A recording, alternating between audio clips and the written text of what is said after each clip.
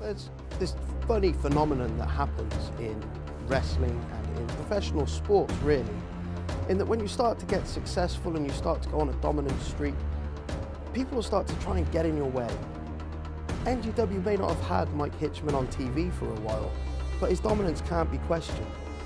And what we're looking for and what we need is an opportunity to continue that dominance. Now, Mike Hitchman's already qualified for the Gen X final, but yet where's he been? Where's his presence been? Where, where's his promotion? I'm starting to get a little bit ticked off with this place for holding him down. He should be promoted as the biggest star of the Gen X League.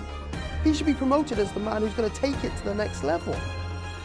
It's, it's not going to be Bubblegum. It's not going to be El Ligero. It's not going to be Robbie X. It's not going to be any of these people. Mike Hitchman is the man that is going to typify, exemplify the Gen X division. This new, this new craze that's going to take over wrestling. And where is he? So this is what I'm asking for. I'm asking that Mike Hitchman gets time to showcase himself, to showcase his abilities, and showcase his dominance over NGW.